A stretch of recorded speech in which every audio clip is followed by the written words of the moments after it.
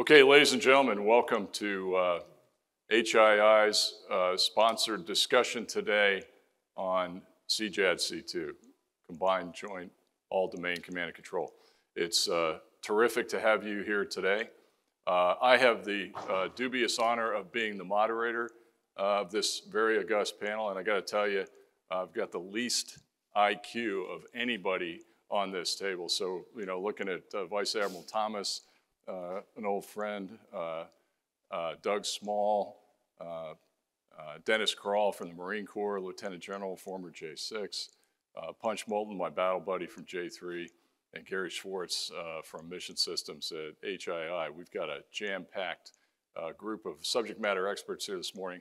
And the challenge is two, one, for me to try to keep up with these big brains, and two, to try to get this all done in an hour and leave some time for uh, questions and answers because I know you have things that you would like to ask. Uh, first of all, I want to thank HII. I, I, am not an employee of HII. They are sponsors of the Navy League. Uh, they're very generous. I want to uh, laud them for doing this through mission systems. So many weapon systems out there. We just had an incredible successful deployment of uh, the carrier strike group USS uh, Ford and that ship really proved its uh, on its first real deployment overseas and extended.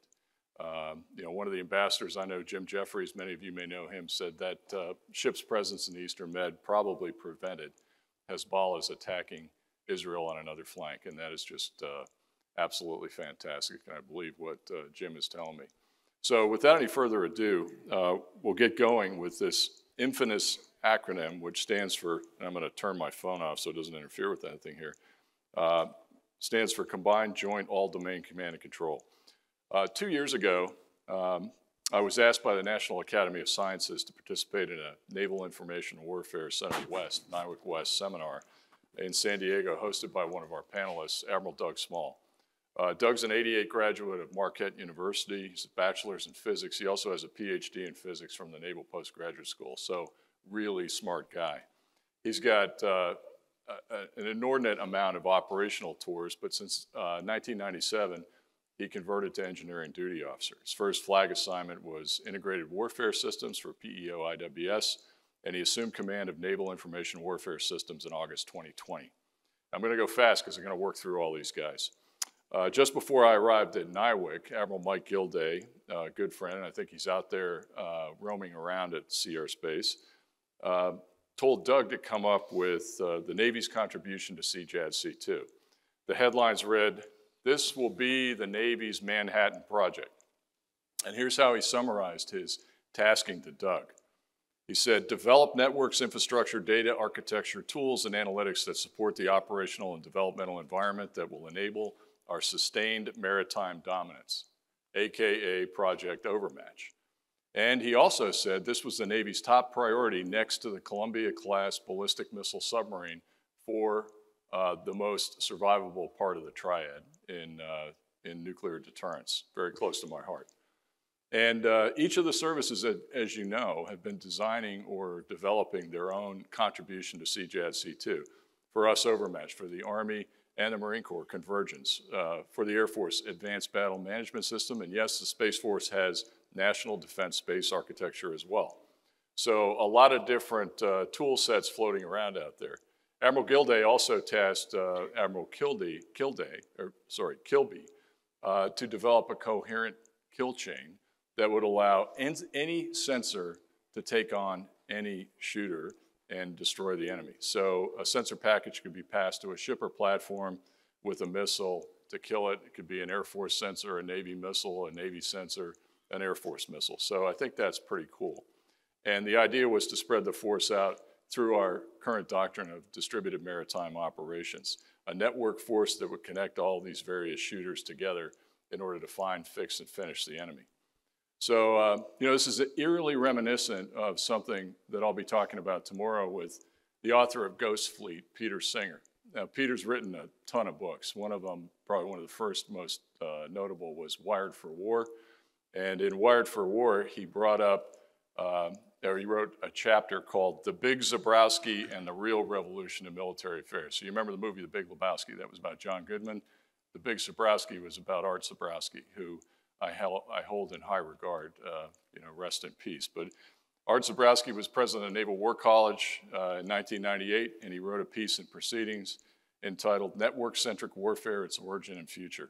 The vision was perfect situational awareness that would enable informed decisions and decision superiority in the battle space. Unfortunately, God took them away from us 20 years ago, and then we got our boots and our heads in the sands of Iraq and Afghanistan and the global war on terror, and our adversaries started to move past us on cyberspace and information technology and, and uh, AI. So we're playing catch up. Now, Doug, you've been uh, quietly working on Overmatch for over two years, and I suspect uh, that since it's been called the Navy's Manhattan Project, that makes you Robert Oppenheimer. So we're going to ask you some questions about it. Fonz Boyle, the third fleet commander, rolled out a press conference a few weeks ago and he talked about Overmatch is here. It's out on three carrier strike groups. And we're not just experimenting for the sake of experimenting. And I quote Boyle, this is proving that we can connect, that I can connect to a Patriot battery, Army system, and that I can connect across the joint force. I can connect through a tactical operations center light to the Air Force and Air Force sensors that bring information in. So Doug, First question. How does it feel to be the next Robert Oppenheimer, and is Overmatch going to win as many Oscars as Cillian Murphy did in uh, Hollywood recently? No, in all seriousness, uh, tell us about this journey over the last few years. How's it been going for you? Um, wow, thank you. Um, it's been going. Um, it's been going. That's that's really the key, right? Is we have focused on actually delivering capability. Um, focused on, you know, certainly the delivery, but also the training, developing of the ConOps, you know, how do you use this um, stuff. You highlighted what, what it is. This uh, naval operational architecture does reflect a pivot from things like, um, you know, the, the um, war on terror stuff that we were doing to uh, more you know, modern uh, adversary in a denied environment and really getting at you know, those components of the architecture, the networking, the uh, tools and analytics, data fabrics, and then all the infrastructure that, that allows you to move at speed and scale. So it's been, it's been, um, it's been going fairly well. So we are ahead of the, the objectives that CNO laid out for us in terms of numbers of systems, as well as, you know, the, the world of technology has changed even since he stood it up. And because we've been able to stay agile, we've been able to take on new things as they come in and make sure that they get plugged into the architecture.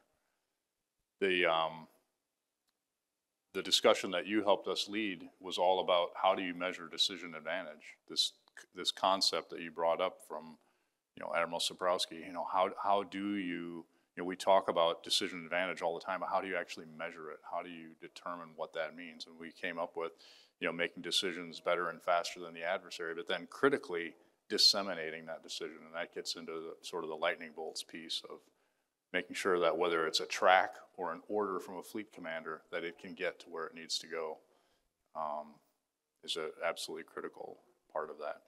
So we have been delivering, we've been focused on delivering, been focused on starting with what we have, bringing some, some fairly critical but mature technologies to be, be able to build on what we have, and that's how you get to fast tracking and speed is you don't, you're not waiting for the next big thing. You're, you're delivering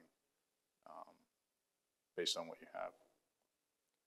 Did I get it right that it's really about the network and connecting any sensor to any shooter uh, to achieve this decision superiority in the battle space? And have you, have you able, been able to demonstrate that? Things have been kind of quiet on this front. I realize classification issues, and this is an unclassed forum, but what can you tell us about that? So I'd say it's, you know, um, I usually try to stay away from the discussion on any sensor to any shooter, um, just because it's really it's really more about you know are you actually Admiral Admiral Thomas can speak much more eloquently about this than I can, but you know how does a, a commander at whatever level sense their battle space and then see to the forces that are assigned to them. Whether that information needs to flow to a weapon or to a human to make a decision, that's, that's really the, That's an important point. The- right the point. It's not just to a, a machine, right? Exactly. There still is a man or a person machine interface. That's Might be right. the right sensor at the, to the right shooter at the right time. Yeah, That might be a better way. yeah, I think that's, very appropriate, uh, Carl, if I may call you Carl, and we go back a long ways, but uh, the temporal aspect of this thing is really important. So you want to hold your cards close until you have that advantage and you can take that advantage. And the whole goal is to surprise the adversary, right? Exactly. How about, uh, can you elaborate any on uh, Vice Admiral Boyle's announcement? I mean, he said three carrier strike groups. Uh, sorry, can't tell you which ones. Um, I mean, are we divided East Coast, West Coast? Can you say anything about that? And, uh, you know, where exactly, where exactly are we on the timeline of deployment of this uh, system overmatch in the fleet? So I, I would say, you know, we're ahead of the timeline that CNO laid out in the NAV plan. And, um, and that, you know, CNO Franchetti has been clear that we're still executing to. Uh, we're ahead of that. As far as the exact numbers, I, you know, I won't, won't talk to that, but it's, and it's more than strike groups. It's also at, you know, fleets and, um, numbered fleets and, and, uh, so certainly afloat and ashore. Um, we're, we're, we continue to be ahead. Yeah, we were talking on the phone last week. You mentioned, hey, um, you know, I'm doing my part, and it's a huge part. It is a Manhattan Project-like uh, thing in Overmatch. Um, and where, you know, your part stops is kind of the lateral of the handoff to that, uh, that runner that's heading downfield to make this truly uh, combined and joint. And so he said, uh, you know, you could use a little uh, assistance with that. And that's why we've got the rest of the, the speakers on the stage today. So we'll get to that. But you've also got, look at, I mean, standing room only here in the room. So industry is here, Doug. What help do you need from them? I'm sure they're looking, you're all looking for a demand signal? There you go. So uh, we've been pretty consistent and, uh, and had many uh, industry days to include uh, at all levels of classification and with the Air Force. By the way, kudos to you because several people mentioned that to me coming in here and said your industry days are phenomenal. I'm sure they'd all like to know how to get in. I'm, you probably have to be, you got to have a pretty high clearance, but. It, it, depends on which one. Some of them are some of them are GENSER, some of them you know just GENSER secret. Some of them been um, SCI with the Air Force directly. So my, my biggest ask is just um, be software centric. You know, again, part of moving fast is if you're fielding software on existing um, hardware, that's, that is the fastest way to move. And so that's, that has been our mantra is just focus on software, whether it's software defined networking, software based, you know, battle management aids and, and um, we call the tools and analytics, um, data tools. Um, you know, we're fielding a, a data fabric that connects across the force. All of those things we provide as a platform. What we need are the applications, not new new computers. Um, that just takes longer to install on, on ships and, and shore facilities. So focus on software is our key thing. We have plenty of contract vehicles to get your software into the you know brains of sailors tomorrow. Um, just work with us on that. And that's part of the infrastructure stuff that we've set up is end-to-end DevSecOps to include, um, you know, moving software over the air to ships at sea. So this is this is the way we do business. That's my biggest ask. And you know, yeah, and you know what's beautiful about that is tomorrow we've got uh, I've got uh, the Honorable ASN RDA, uh, Mr. Nickolas Guertin on the stage, and in talking to Spanky Morley and to uh, uh, the Secretary himself, you know, one of the questions uh, that I was asked, you know, can, can you fit this in, is about the Assistant Secretary's time at Carnegie Mellon University. And he worked on software reliant and resilient systems and agile. So it dovetails beautifully with what you're doing. And, and you're nodding your head, so I'm sure you've had conversations with them. So we'll get a little bit of that tomorrow, as well as a lot about hearing from ASN RDA on how we're doing on uh, acquisition and shipbuilding. All right, Doug, thanks so much. Uh, we put you on the spot up front, and uh, there is no uh, protocol order here, so I'm going a little out of order, but I'm going where I think I need to go in uh, line with the discussion. I'm going to shift to uh, Lieutenant General Dennis Crall, United States Marine Corps, retired career aviation command and control officer and a highly decorated combat veteran. Dennis, thanks for coming today. He is also CEO of Advanced Foundry LLC, and a renowned CJAD C2 subject matter expert, having been assigned the portfolio while serving as the Joint Staff J6. Uh, his team was responsible for the publication of the DoD CJAD C2 strategy, signed by SecDef, the posture review, and the implementation plan. And finally, he led a cross-functional team to ensure the services had a venue for best use cases, technology solutions, and implementation progress. So Dennis, on the big picture on CJAD C2, we just heard what the Navy is doing with Overmatch. Now we're going to talk about integration. So here's my question. Exactly what is CJAD C2 in the most basic terms? Why is it critical to the modern warfight? Why has CJAD C2 implementation been so challenging?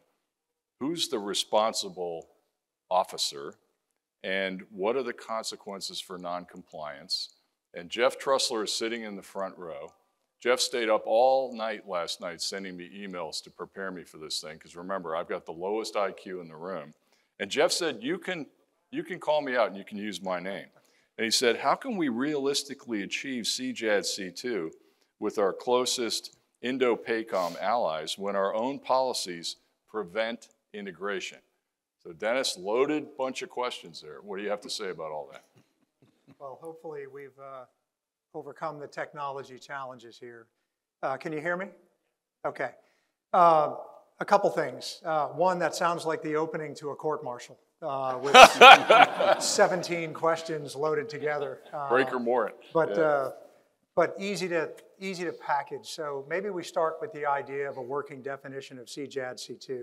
We all use it. Very few people, I think, even understand it. Uh, it's two areas that I think I would, I would have you think about. Uh, the first is the obvious that we're awash in data. Uh, data is everywhere. Uh, if you go back 20 or 30 years, there was a way to manage that data. It's largely unmanageable at this point. Even sensors that were not designed to collect in a way that we're using them uh, have matured rapidly, and data amalgamated can provide a picture or insight in ways I don't think anyone has even thought of. Uh, in the future, the third part of this is going to be data availability, but we'll leave that off to the side. So on one side of the scale, you have a vast amount of data, and data are the coin uh, of this realm now. Uh, and so you've got that sitting on one side of the scale, and if that was the only problem we had, you wouldn't need CJAD C2. You could take your time to go through this, make sense of it, and then act. The challenge is on the other side of the scale, which competes against, against this, and that is the speed of decision making. It has shrunk. So when we start looking at the ability and our reliance on data to make decisions, whether it be, you know, we talked about sensor to shooter, but JADC2 is much bigger uh, than sensor to shooter. It's about moving logistics. It's about moving medical uh, supplies. It's about moving medical information. Anything that involves warfighting, projection, and readiness fits the same equation. And so you have data, too much to manage, and speed, which is reduced to a point that, uh, you know, maybe it was weeks, days, now minutes, seconds, and with hypersonics, milliseconds. These two things have collided, which is why you need to be able to move data at speed. We need to make sense of it quickly. And then most importantly, you have to project it and act, uh, which is why some of the more parochial ideas of uh, transport layer and uh, traditional command and control is so important. What good is it to know the right decision, but not be able to get it to the warfighter at the tactical edge to act on it? Uh, so that is the, uh, the crux of the JADC2 argument. And the best uh, aspect of the acronym are the first two letters. The fact that there's a C and a J change the way that we do business. It's not good enough for services to solve what they think are the, uh, the rest of the acronym, the all domain command and control, or add C2 pieces for themselves. It has to, we're never going to fight alone. We're going to fight uh, in a combined joint arena. And so the solutions have to port, and they can't do it after the fact. If we build grand things and then try and back our way into the joint combined arena, these will either fail on their, on their face or they'll be too expensive to manipulate after the fact. Gone are the days of building Rosetta Stones between software, which is a whole cottage industry for some. Uh, taking things that don't work and after the fact trying to kludge them together. We have software today that we field, modern software, that has no way for the data to come out. No APIs, no interface that makes sense. And after the fact, trying to build those is very difficult. So why is it so hard to do? Uh, lack of an understanding of what's required from the beginning. The services can't decide that. That has to be done through OSD. That has to be done through ANS. That has to be done through other aspects of government uh, in the Department of Defense. And I say standards with a little s, not standards with the big S. There has to be some freedom in design and development. But everyone needs to know what a three prong plug looks like, and they'll build to it. And in the absence of that guidance, they'll build whatever they think is right. And then we'll realize how difficult it is to make these things work together. So we have years and years and years of history of failed trials. And the prognosis is, I think the language, in my estimation of working JADC2 for 10 years, is we finally have the words. And if there were solace in words, would be done.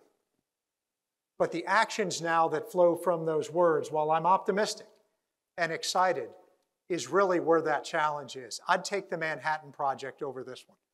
I think the Manhattan Project's easier. Uh, this is going to require a level of cooperation. It's going to require a level of partnership with industry we've never had. And frankly, it's going to require industry to listen. And, I, and I'm speaking very frankly. Uh, I love working with industry. I'm part of it now to some degree. Uh, but we have very unique needs. And reaching on the shelf and grabbing something and employing it uh, that doesn't match what we're asking for is not going to work any longer. They'll be very short lived. So at least I've answered three of those uh, out of the round of 27, I think it was. All right. We're, uh, we're going to get back to that integration piece here in a minute. And I lived the nightmare Jeff Trussler talked about, where it was really hard just to get uh, to allies and partners, uh, even in times where we were uh, shooting missiles together into places like Syrian chemical weapon sites or you know, some French uh, frigate was doing air cover for our carrier in the Eastern Med. All right, um, shifting gears. I'm going to go to Vice Admiral Carl Thomas, a native of Northern Virginia like me. So uh, I joined the Navy, left for 40 years, and came back. And so did you. Uh, he received his commission from Naval Reserve Officer Training Corps at Rensselaer Polytechnical Institute in 1986. His degree is in management systems. Uh, he has a master's degree uh, in information technology from the Naval Postgraduate School, and they'll be with us on the days for our wargaming session uh, later today, too. Uh, his lovely wife, Junifer, is outside. I got to meet her back when Carl and I worked at Naval Reactors in 2001 to 2003 for Admiral Skip Bowman. I just saw Skip last week at Admiral Franchetti's retired four-star. He's in rare form. His golf game and handicap are really good, Carl. You helped him out with that. But ladies and gentlemen, let me tell you, uh, as EA to aide de camp that was a, that was a tough haul. That was a tough couple of years. Uh, there were uh, four yellow footprints in front of the admiral's desk, two for me and two for Carl. And when things weren't going well in the nuclear navy, we got called in. Stand there, gentlemen, and uh, and we heard about it. And then we went off to try to fix it. We considered considered ourselves for you nukes out there. Carl and I were the primary containment. Uh, we had to keep the core covered at all times. And the line locker had the easy job. They were the secondary containment. They were divorced by one floor and a lot of distance uh, from the boss. But the boss was brilliant. I mean, he used to have a, a state of uh, uh, the union address every year, and he'd work for countless weeks on this thing and then come up with a plan. So he had a he had an eight-year plan. You know, eight years, long time.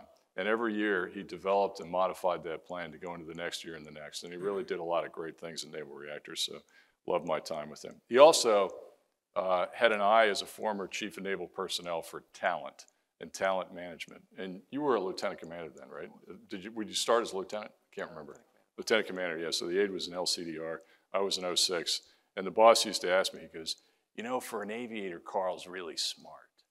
Why didn't he go, why didn't he go nuclear power? I don't know, sir, but he'll have a chance. And so he earmarked you uh, to be a nuke. And in fact, that's what you did. So Admiral Thomas started off as a, a E2C Hawkeye naval aviator, uh, but he had uh, command XO and command of VAW 117 during Operation Iraqi Freedom. He saw combat operations. And he also commanded my favorite ship in the United States Navy because after becoming a nuke, how hard was that to go to nuke school and relearn all this stuff? Then he commanded the deep draft USS Mount Whitney. I love that ship. The Navy ever does away with it, I'm gonna be very upset. Um, he had Abraham Lincoln during a complex refueling overhaul. So they don't put nukes like me on refueling overhauls. They put nukes like Carl on refueling overhauls, and then his reward after that grueling overhaul was to go out and command USS Carl Vinson CVN 70 on deployment. Uh, most recently, he was the commander of 7th Fleet, facing the bad guys eye to eye out in the Western Pacific and the South China Sea. And he did that job from July 2021 to February 2024, and now he's back as the uh, Deputy Chief of Naval Operations for Information Warfare N2 and 6, relieved a great guy uh, in JT here in the front row, 69th Director of Naval Intelligence. So Carl, you have incredible command experience. Uh, you've done a lot of things. You've been a squadron commander, uh, you commanded Mount Whitney, two carriers, carrier strike group, and a numbered fleet. But when you started out in this business of flying the E-2, uh, it was well before CJAD C2 came to fruition. And I recall as Sixth Fleet Commander uh, bringing the Theodore Roosevelt into my theater. Uh, my friend and, and a great guy, uh, Admiral Woody Lewis, was a newly minted one star at the time. He was the strike group commander. And he was the first person, first strike group commander to deploy with NIFCA, Naval Integrated Fires Counter Air. And at the time, and a lot of these guys are retired now, not so much uh, Woody, but a lot of the senior leadership of the Navy was like, eh, you know, we don't need this JADC2 stuff. I mean, we got NIFCA. I mean, we invented it. So now the other services are catching up with us. Do you subscribe to that? Um, let me let me start by uh, saying that took my opening line here with a focus as the Seventh Fleet Commander coming into here. Uh, I had a chance to, to sail in the Pacific and to, to stare the adversary in the face every day uh, in competition, uh, deterring the adversary. And the letters that, uh, that you spelled out, the C, the J, I was going to give the AD a, a, a bone as well. Uh, we're looking at an adversary that's going to take a combined fight. It's a joint fight. It's an all-domain fight. And so, to get to, to the admiral's question about uh, NIFCA, I thought I'd uh, I'll share a little thought pattern through uh, through history here. There's a few people in the room that uh, sailed out there when the Soviet Union uh, was still a thing, and we used to sail our aircraft carriers across the Aleutian Islands, and we'd try to shuck and jive and hide from the bear box. Uh, we'd get close to the, uh, the coastline, and we had this tactic, technique, and procedure called vector logic and chainsaw. And it was the way that we were going to conduct the outer air battle by putting F 14s out in a matrix in front of the uh, carrier strike group with KA 6s to refuel to provide that logistics. And the battle space was about 60 degrees and maybe out to six or 700 miles and, uh, and you set that battle space for defense, and then you projected power in with your, your A6s. And that was the fight back in the late 80s and the early 90s. Uh, and then we got smarter in this uh, technical capability of NIFCA, of integrating our sensors to be able to make what was a, a one domain fight, really an air domain fight, a two domain fight, uh, surface and air, where we integrated our fire controls to be able to shoot on each other's uh, sensor information and, uh, and so now we expanded the battle space, and that, and that worked for a while. Uh, and now the battle space is just so much broader, and it's all the way from the seabed to space, and it has other domains like cyber. And the information flow that Dennis talked about and the data that's out there, it's about making sense of all that data in a speed relevant manner and get inside, you know, it's the old OODA loop, the John Boyd OODA loop of observing and orienting and deciding and acting, but at a much higher rate. And uh, the good thing is that the battle space is, is large, so there's a lot of maneuver space in that battle space. But it also means that the fires have to be extended, and then uh, and you have to work, uh, you know, have to work in a coherent fashion across all domains with not only our service brethren but also with our combined partners. And it's and that's a tremendously important thing as you uh, as the Marines work to be the inside force, as the Army's looking at the uh, MDTF capabilities and you blend the inside and the outside and you, uh, you move and coordinate. Uh, that ability to get that C2 across, the last two letters of CJADC2, uh, is really important. And, uh, and you need to do it not only across the folks that are at the tactical edge, but up through the operational centers, whether it's a, a maritime operations center, an air operations center, and you have to be aligned in your thinking so that you can uh, move coherently and uh, fall back. And so that, that's the way I, I think we progress even beyond NIFCA. NIFCA is a capability, Yeah. But, but we're now looking at how do you understand what's happening and synchronize your, your effects. What do you think about JT's question or constructive criticism on integration? You know, um, I mean, we, we kicked around a couple emails about SIPRNet, but across IPC, allies and partners, got a lot of allies and partners here. Um, If we're being challenged right now in getting to the C and the J part of this, then uh, what's going to happen for interoperability with those folks we depend on? We're never going to a fight again unless there's a coalition or an alliance, right? Yeah, I, mean, I can give real-world examples. You know, we've Yeah. had, we've been very fortunate to have uh, Queen Elizabeth come over with some of our European allies, uh, making up that strike group, a great uh, multilateral demonstration of unity. We don't have a NATO over in the Western Pacific, and so having NATO countries come over and sail in the Seventh Fleet AOR, extremely important. We do pretty well in, in uh, the European theater with systems like BICES and uh, OPTAS that we train and operate together, but then you get over into the Western Pacific and we have CENTRIXS and other systems. And so we're working on that. We're working on how do we, uh, you know, there's a sharing, there's an information security piece to this. It's something we have to, we have to solve, because you're right, we're not gonna fight alone. Uh, hopefully, we're not gonna fight. Hopefully, the adversary will recognize that it's a, it's not a one v one or a one v two, it's a one v many Yeah. And uh, and being able to synchronize and be on the same page and just escalate. It's exponential challenges as you bring that into it.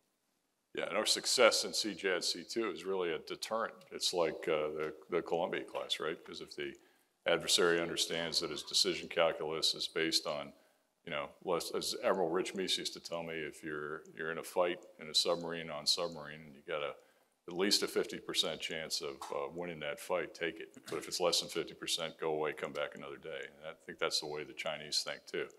And Putin, you know, he hasn't attacked NATO yet because he knows he can't win that war. So if we've got decision superiority, it makes hard, makes it hard for them uh, to commit to kinetic operations or something like the invasion of Taiwan. Well, excellent. Thanks, Karl. You took away my uh, second question because you talked about real-world examples as a fleet commander. Uh, I'm proud of you from those days we spent together as a lieutenant commander. I lived vicariously through guys like you, and I'm glad you're back. But now you're back in the Pentagon, and JT's old job is N2, N6. Um, what can you do in this new position? And, you know, we didn't all, normally we had uh, intel officers in this job. Now we've taken a warfighter out of the field and put him in there, like, like you and Jeff. What can you do to facilitate further progress in CJAD C2 from your position as N2, N6? Yeah, I think that information warfare, quite frankly, is in every one of our communities. I'm really proud that we're, we're treating information warfare as it's, uh, as a, a complementary warfare domain, but it also is embedded in everything we do. And so, uh, from the N26 job, clearly in my portfolio, there's an awful lot of opportunity to work on that interoperability, to work on the tactical systems, the national command systems. Um, and I, you know, the first week in the job, I was in a CJAC2 meeting, uh, working with the joint partners and on how we're going to drive it forward. And, and I've been to several uh, long-range fires meetings as well. So I think the portfolio is, is ripe. Uh, I think the benefit of having been out there on the front line, it, it brings back what we're able to do and where we need to go. And so that, that's, I see the best value of, of me being in this job, is to take uh, what I was staring at for the last six years and, and really help to drive. And I'm glad to have smarter Yeah. people than me like Doug Smalls that are, that are working. PhD in physics, yeah. All right, excellent. Thank you very much. Okay, um, we've got about uh, 10 minutes or so to go until I'd like to go to questions from the audience and two more speakers. So I'll shift now to Major General Punch Molden. Uh, Punch is not only a friend, but he's the vice president of Stellar Advisors at Stellar Solutions Incorporated out in Colorado. He leads a team of senior leader consultants tackling challenges and delivering expertise across a broad portfolio, including cyberspace, missile defense, warfighter support, international defense, and commercial strategy. And prior to joining Stellar in uh, 2012, it's hard to believe it's been a dozen years, Punch. You still look good. Uh, he was Major General in the United States Air Force, and he was the Director of Operations J3 at United States European Command with Admiral Stavridis. So we knew each other when I worked for Stav, and we knew each other when I went to Naples, and we did uh, Joint Task Force Unified Protector in Libya. And that was quite a story. We don't have time for today. Punch is a, a 33-year uh, uh, career in the Air Force. He flew the T-38, F-5, F-15. He's a fighter, fighter pilot. And, uh, you know, when uh, the Arab Spring broke out, he was my right-hand man and my wingman helping me out. When I went back as Sixth Fleet Commander and had a dual hat as Strike Force NATO and Commander of Sixth Fleet, Strike Force NATO is a NATO command in Lisbon, Portugal. It's responsible for the European phased adaptive approach of ballistic missile defense. And when the Secretary General of NATO said, in the NAC, Strike Force NATO will be our repository and our principal command to execute uh, ballistic missile defense in Europe. I needed help. Nobody knew anything about this. I knew a little bit about it. I'm a submariner you know, I'm not a destroyer sailor, but I learned a lot when I was in the uh, one-star job. So I turned to Punch, and he came out and he helped me out, and he educated the team, and he helped us set this up, and it was extremely successful. So um, we could talk all day about BMD and how CJAD C2 can facilitate that, but uh, I want to get on to uh, something else here. Last year, at this venue, we had uh, Heidi Shyu, DDR&E, and uh, uh, the vice chairman, Chris Grady, come in and talk to us about Joint Warfighting Concept 3.0. So the current version, JWC 3.0, has four supporting concepts. Fires, information, logistics, and command and control. And Heidi Shyu said uh, 3.0 is going to take joint warfighting uh, concepts and decompose them into capability needed for a highly contested fight. She's big into prototyping and likes rapid prototyping turning into experimentation. And not just a laboratory, but a real exercise in a live environment. So get it out there to the fleet, test it. If you fail, it's okay. Go back, fix it, test it again. Admiral Franchetti, who was here this morning in a couple of different panels, I've heard her say many times, you know, she doesn't say the word exercise much. She says rehearsal, rehearsal of concept, because you never know when we're going to be in a situation like we were in the Red Sea. I think Carney went through the Suez Canal on the 18th. She's shooting missiles on the 19th. so exercises become real world kinetic operations, and we need to be able to rehearse that. So, uh, Punch, here's the question. Uh, what are the biggest takeaways or lessons learned you'd like to pass on to the audience concerning C2 nodes, connectivity, data sharing, exploitation of the enemy's vulnerabilities? And particularly, would you talk about something that came up in discussion last week, and that is GIDE, G-I-D-E. We're not doing acronyms today, so I'll spell it out for you. Global Information Dominance Experiment. How does that fit into CJAD C2? And how does the new CDAO office, the Chief Digital and Artificial Intelligence Office, headed by Dr. Craig Martell and my friend Margie Palmieri, I didn't know she was there until I did the research. How's that all fit into this bigger broader picture of CJAD C2. Sir, over to you. Oh, thanks. First of all, thanks for putting me on as the, the token member of the joint part of this panel. There you go. Coming from the Air Force. Uh, I'm going to take you up a notch. So okay. there's an awful lot of talk about at the tactical and operational level GIDE, global information dominance experiment, uh, is actually aimed at the operational to strategics level. It, it, it originated with uh, General VanHerck out in NORAD in NORTHCOM.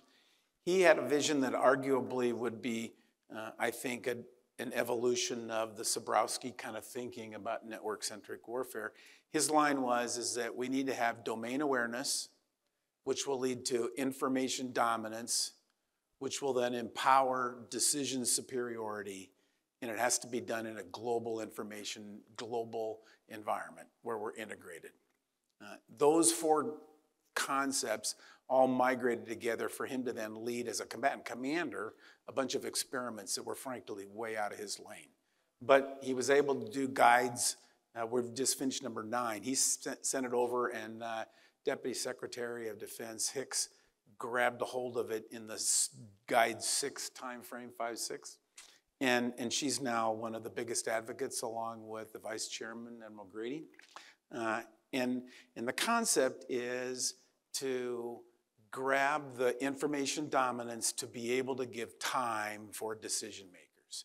And so the, the niche that they've grabbed onto, there's three mission threads, but the critical mission thread uh, is an acronym C5P. Don't worry about what that means. It, what it, I'm going to describe it. It is the opportunity for, at the strategic level, we're in a competition phase, but a potential crisis is on the horizon. Generally, in today's world, we start asking for, the Secretary of Defense asks for combatant commanders to give commanders estimates. And those generally have to come in in about a week or maybe more time frame. What the effort of GIDE 9 and, and all the previous GIDEs is to be able to tackle the idea of let's deliver to the Secretary of Defense concepts that they can actually execute, COAs, if you will, um, in 24 hours that include all 11 combatant commands together that have collaborated in 24 hours and deliver a commander's estimate that is 11 combatant commands all seeing the same picture and seeing the same concept of ops with the possibility of two more COAs at the 48 hour point. And those COAs are empowered by being number one, feasible, and number two, sustainable. In other words, the amount of delivery down inside of the data that is out there is extracted and exploited so that the COA is already delivered to the Secretary of Defense as being feasible and, and sustainable. Uh, think about that from the perspective of today.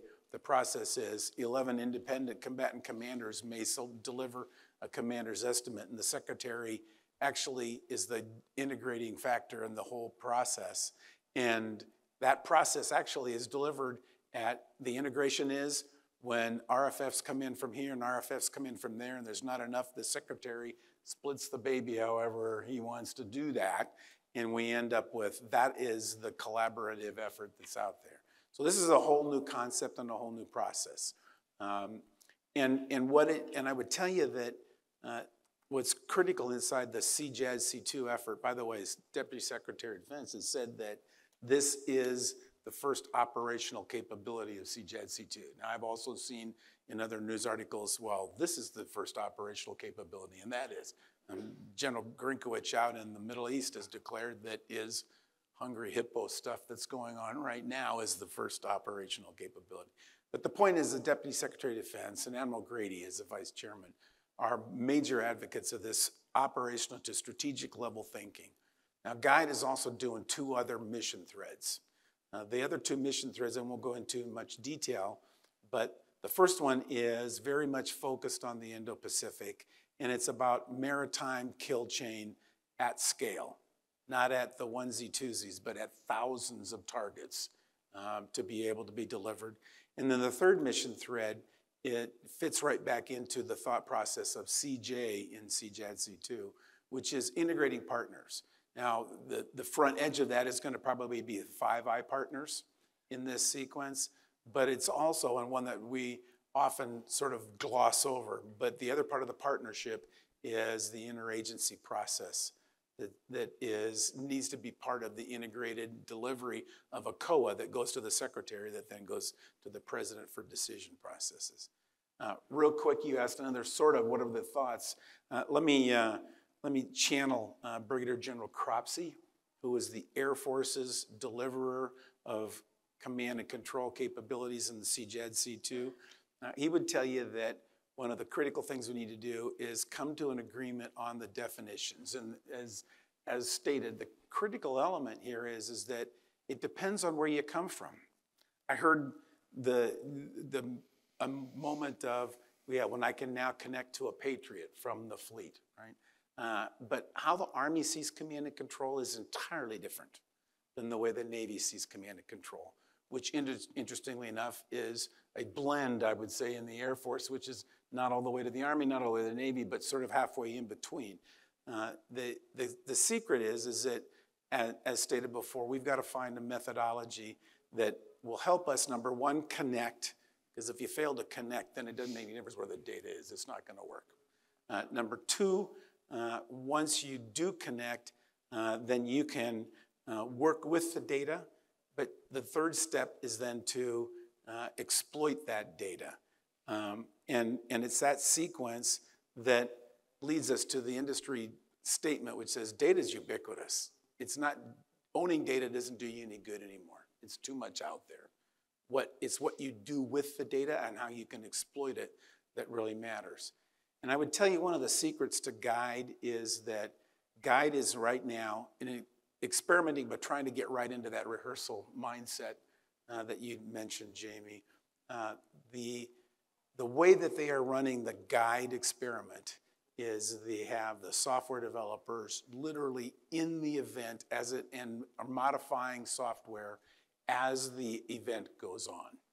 And, and so inside each scenario, they are developing. And I would argue that for those who are familiar with the agile construct, that is probably what's needed a lot more as we go forward with CJAD C2, which is get it in the hands of those who are going to use it. The warfighter needs to see it, and then we can modify off of that as we see it. Now, arguably, what that ends up leading to is mission and requirement creep by a long shot. Uh, and, and therefore, that we need to be ready and mentally ready to do that. It requires an entirely different way to think about acquisition going forward. Um, uh, let me stop there for right Okay. now and Yeah. let you go on. Thank you, Punch.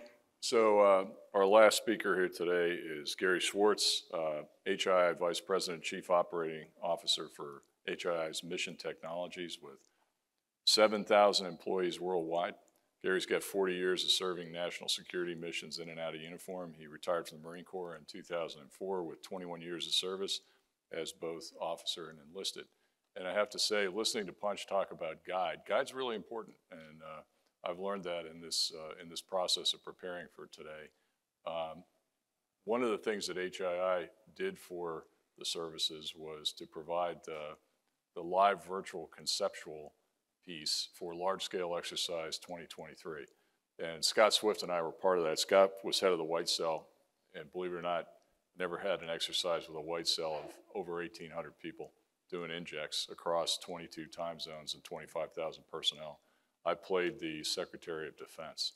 And uh, the most important thing that came out of that for three component commanders was something they called gimmicks, the Global Maritime Commanders Sync. So just where GIDE delivers 11 different COCOM's perspectives on what's going on in the world, we were able to do it across the maritime with three, and it was very, very valuable. So there's a lot there. Uh, Gary, um, I want you to kind of take it home today, and then we're going to go to Q&A. So uh, given your background in industry and familiarity with C5ISR, what do you think we could be doing more of to help accelerate and operationalize CJAD C2?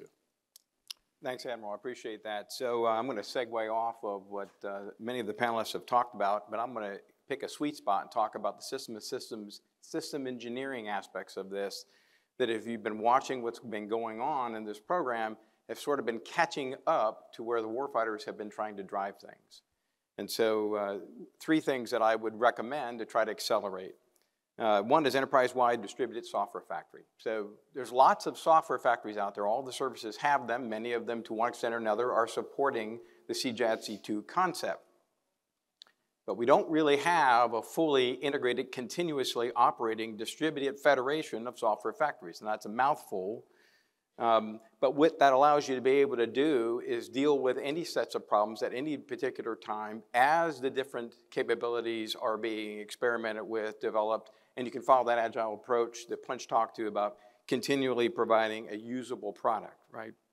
Um, and, and there's been some moves along that line. The CDAO office that Emma Foggo mentioned earlier, right? You know, in November of uh, 23 last year, the JADC2 Implementation Act said, yea, verily, CDAO office, you, you have responsibility to create and operate a software factory-like approach to this problem. So there's awareness, it's moving that way. We need probably more of it faster.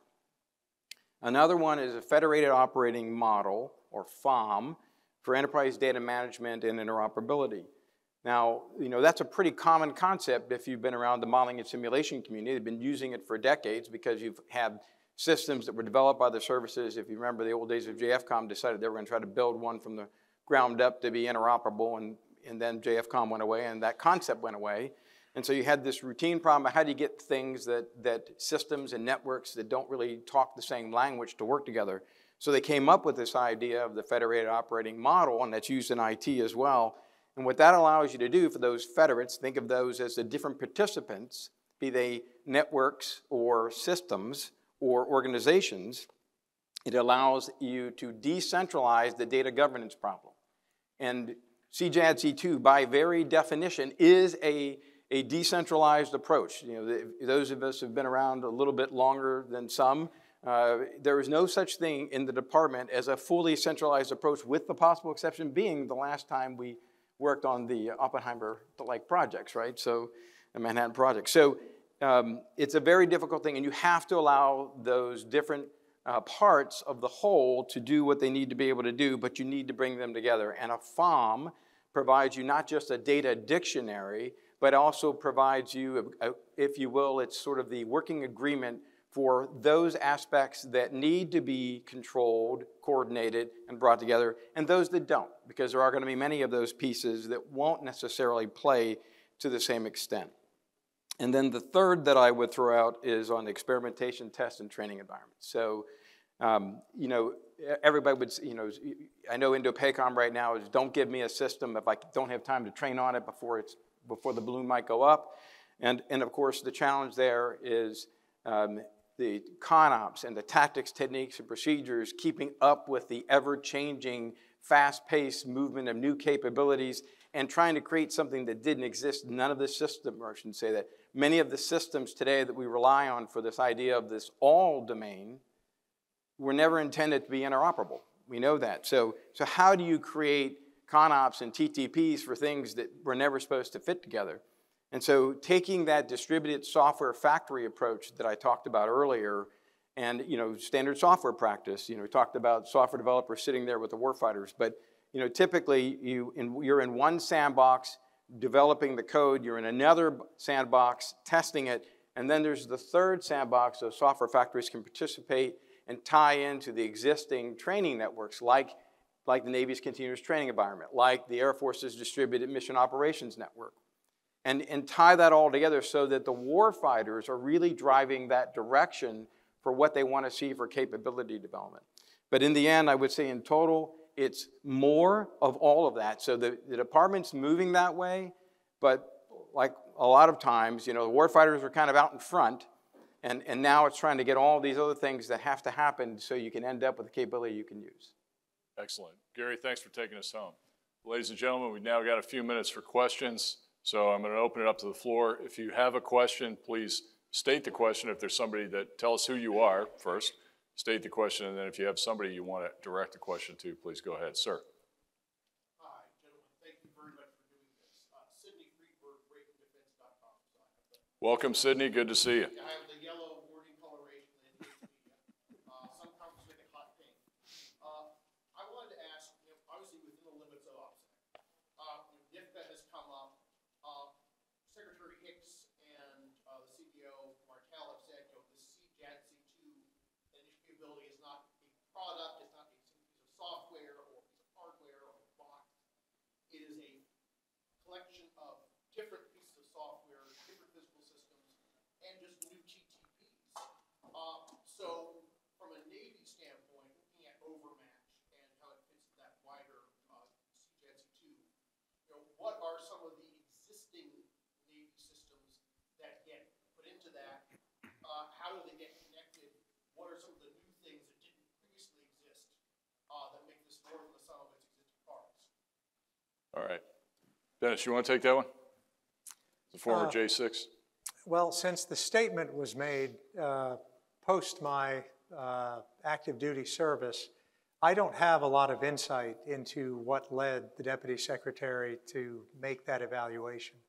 Uh, I can speculate uh, and would say that there clearly has been progress made on parts and, and pieces of this journey, uh, but I'm unaware of of how I would incorporate the C and J, really the fulsome of that declaration. Uh, so I would leave that to my active duty uh, partners and whatever they could offer uh, that would be insightful as to uh, the timing of that announcement. All right, Doug, uh, anything to offer on that? Sure, I mean, it that was really, it kind of gets back to the GIDE and the data integration layer discussion. And, and, you know, the, the concept has been demonstrated, this data centrality at the, at the COCOM level, you know, being able to move information across that battle space has been demonstrated. And that's, that's what she was referring to. Um, within Project Overmatch, you know, one of the core parts of our architecture, we call literally data. And that data fabric is meant to connect with that data integration layer. And that's, that's what we mean by there are new TTPs, new means of moving information across the battle space that are, um, you know, a critical enabler of, of the uh, C2 functions at, at all those levels. All right, thank you very much. Another question? Sir?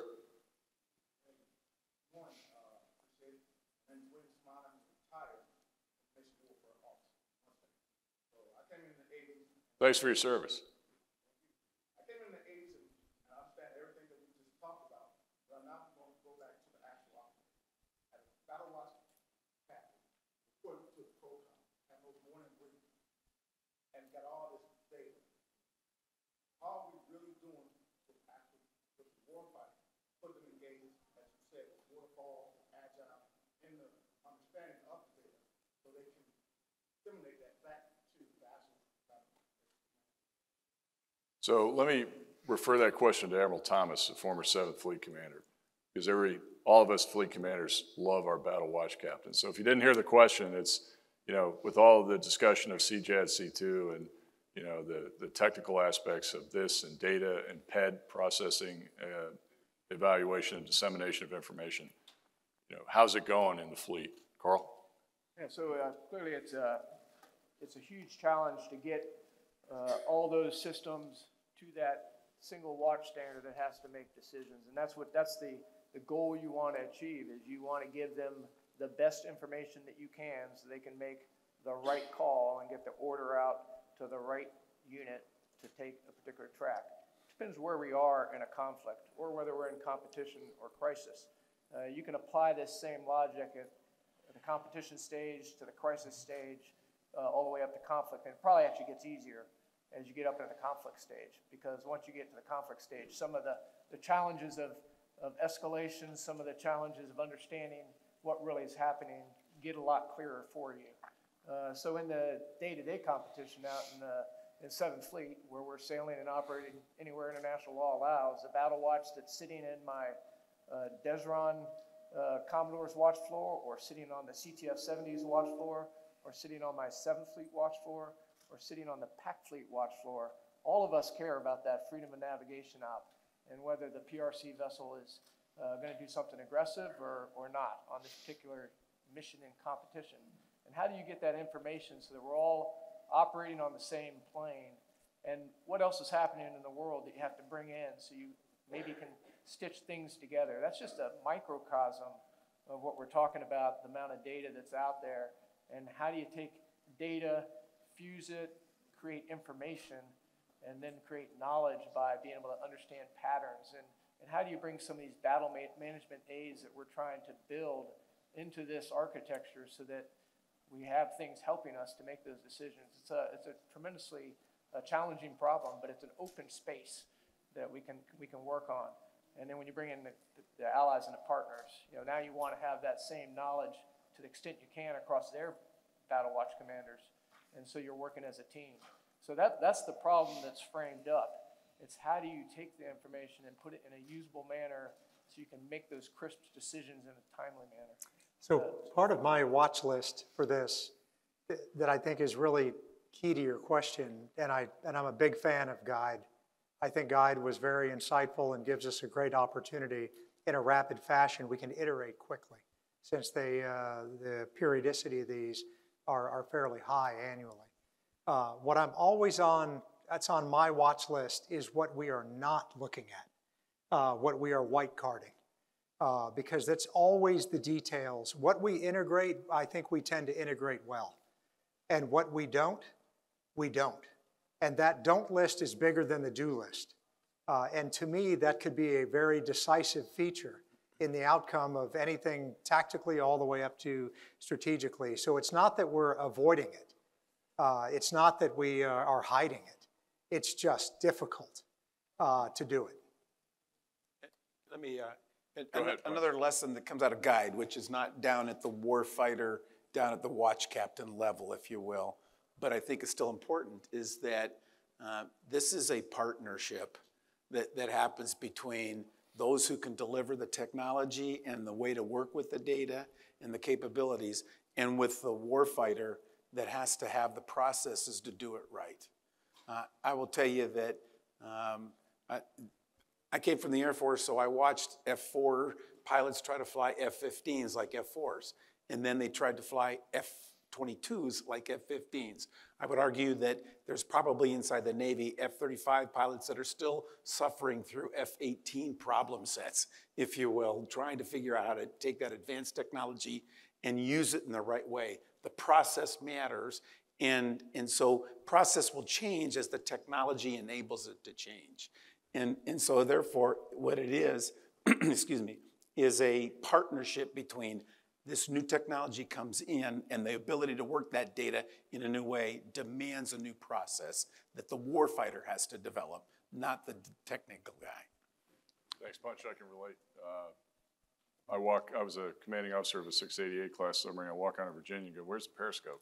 No, we don't have one anymore. It's a photonics mast. Last question, right here. Hey, Frank, how you doing? Long time no see. The question is, as industry and the services work to develop either sensing capability or skills and capability, what flexibility does Overmatch or CJ2 have in incorporating those new capabilities? Doug, you want to take that? I mean, I think we have tremendous flexibility, and we've actually, I mean, we've demonstrated that. I won't go into any specifics, but absolutely. And that is, that's the key of being agile and, and moving at, at speed is as things come along and you're able to, uh, get them connected, get them connected. So there's, there's a lot of flexibility there. And uh, you, you can almost view Overmatch as a platform for getting those types of e- equipments integrated into I'll say the Navy, but the Joint Force.